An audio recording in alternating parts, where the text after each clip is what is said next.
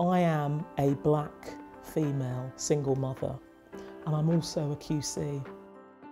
QC or Queen's Counsel is the highest level of seniority you can achieve as a barrister. It's also a recognition of excellence of the work that I have undertaken. What people need to see is the possibilities beyond any obstacles because I didn't really have a, a good academic record and everyone sort of tended to think I wasn't going to see it through. And during the course of my second year, I fell pregnant and had my daughter. So it seemed that everyone's views on how I would do would come to fruition. And quite frankly, I sort of thrived on that adversity.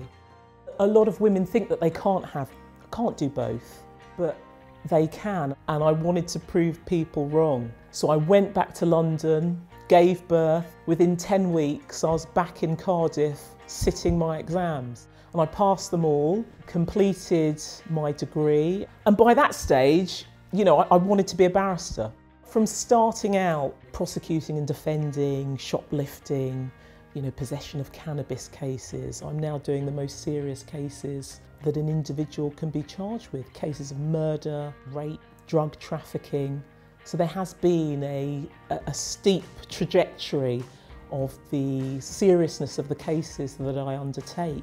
For those, eh, you know, facing barriers, I mean, the important message is that you certainly can overcome those barriers. I was trying to go into a profession where, you know, nepotism and influence were basically the things that would get someone into the profession. And when I went for my interview, all of the panel were white in my first interview, and in my second interview, all of them were white men. But it's very different now. But there's still a, a massive journey to undertake because I am a QC, but I am only the sixth black female QC in the entire country.